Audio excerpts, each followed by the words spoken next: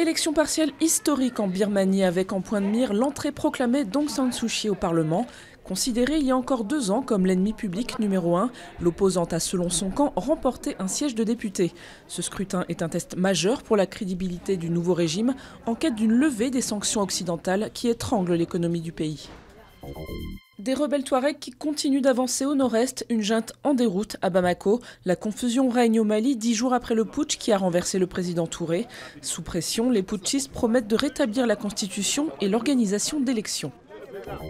Les travaux de la conférence des amis du peuple syrien vont-ils ralentir la répression par le régime de Damas À Istanbul, 70 nations ont affirmé leur soutien au plan de paix international de Kofi Annan, demandant un délai pour son application. Autre étape, la reconnaissance du Conseil national comme représentant légitime de tous les Syriens et un prochain groupe de travail sur des sanctions contre le régime.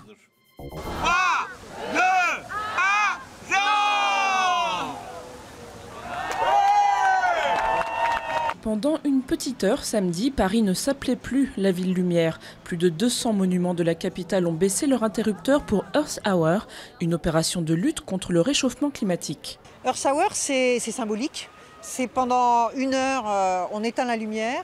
C'est pour dire qu'on a tous le sentiment que le réchauffement climatique, c'est un enjeu majeur de nos vies de demain matin. Euh, et encore plus des vies futures de nos enfants et de nos petits-enfants. De New York à Taïwan, en passant par le Caire ou Sydney, des millions de personnes se sont plongées dans le noir pour la bonne cause.